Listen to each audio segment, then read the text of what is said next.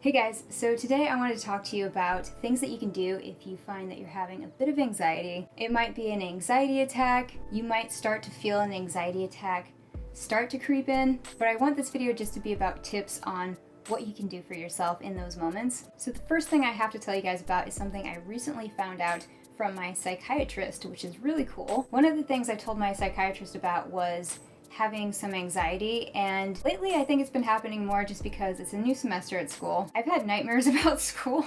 that sounds silly, but I know we've all been there. That's like the lightest anxiety, but it's still anxiety. Your body's not like, oh, this is like easy anxiety or this is, oh, this is just school related anxiety. So it's not as intense. No, your body doesn't do that, I don't think. My psychiatrist told me to just find your pulse.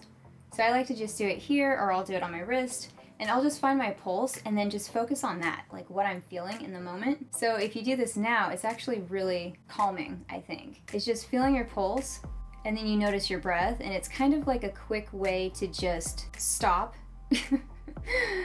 and focus. It's really cool because yes, I do, I like to meditate and I like to do grounding techniques and I have videos for both of those things. I'll link them down below so you guys can check those out. But I think sometimes if you are having an anxiety attack or something like that, it is kind of nice to just, if you can remember to do this, just stop and feel your pulse because it instantly makes you feel like that's a sensory thing. It makes you feel something, your pulse. And then also, it just makes you feel. I, I don't know, I've tried this and it just makes me physically stop what I'm doing and focus. And it's like a quick way to get back to the breath, and you should try it. Let me know what you think.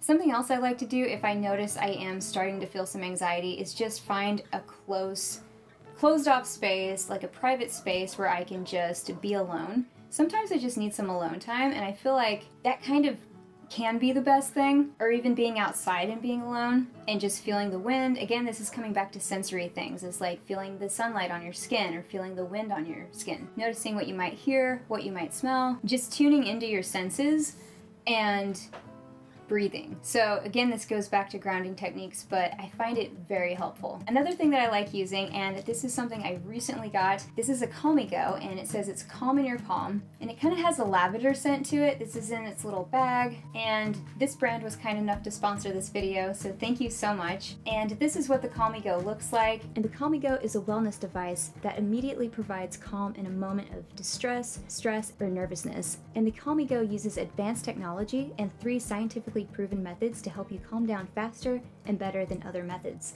I really like this and it's just something that I can put in my backpack, I can put in my purse, and it has a little protective case with it as well. And I really like the Calmigo also because it's drug free and safe and you can use it in as little as four steps. So after removing the cover, all I do is turn on the Calmigo and exhale through the Calmigo following the lights and vibration cues and these guide you effortlessly to regulate your breathing according to your unique abilities and needs at the moment. So as a result, the gases in your blood are balanced and the system in your brain that is responsible for relaxation is activated. So you achieve a sense of calm just after a few breaths. So I like this, I recommend it. It also comes in a couple colors. There's gray and there's also the purple one. I really like the packaging, I think it's cute. Side note. yeah, I really enjoy this and I'll put a link below if you guys are curious about trying the Calmigo. So the next thing I have to talk about is the most unpopular tip, which you guys might have heard before, but this is something you should definitely try if you are able to, if you feel comfortable doing this. It is very uncomfortable. Warning, uh, this sucks, but I find that this is really the most helpful thing you can do when you're feeling anxiety is just feel it.